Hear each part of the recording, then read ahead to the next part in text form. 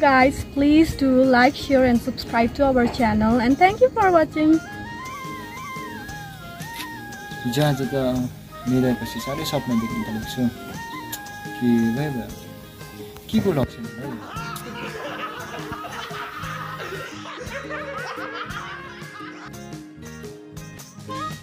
बेसी मोबाइल हेर्दाखेरि आँखा बिग्रिन्छ अरे त्यसैले म त यी एउटा मात्रै मोबाइल हेर्छु।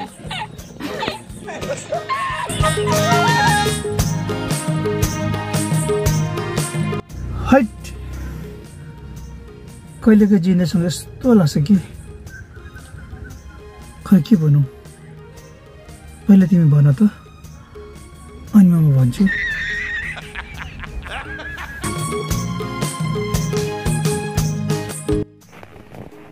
आज यो माटेन सपनामा पुरा छटपटिँदैछ त के भएछ म सोध्नु पर्यो?